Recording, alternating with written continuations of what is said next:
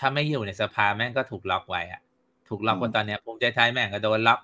ใช่ไหมเศรษฐาก็ไม่มีอำนาจจริง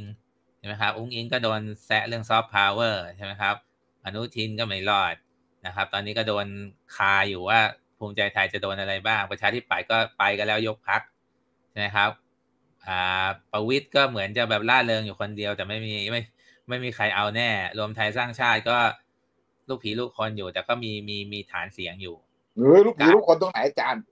คือประเด็นคือปล่อยให้การปล่อยให้พิธากลับมาอยู่ในสภาเนี่ย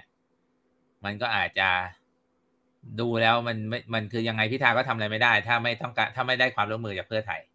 ใช่ไหมเพราะการแก้กฎหมายอะไรหลาย ๆ อย่างที่ก้าวไกลอยากทำมันก็ต้องพึ่งพึ่งเพื่อไทยนะมันมันไม่สามารถแตกหักกันได้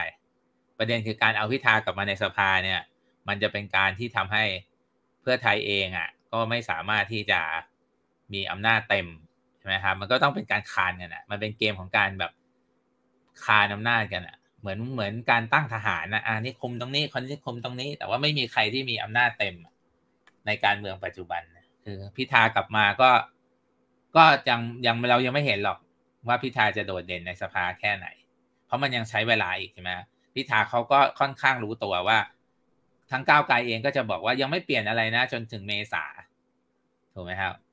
ก็คือเขาไม่ได้ว่าวันรุ่งขึ้นปุ๊บโอ้โหเข้าไปในฐานะ หัวหน้าพักแล้วก็ไปรอเป็นหัวหน้าพักฝ่ายค้านอะไรคือยังผมรู้สึกว่าเขาเขาแบบ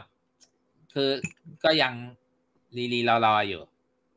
ประเด็นของผมคือว่าเกมเนี้ยมันเป็นเกมที่ว่าคานอำนาจกันไปหมดอะ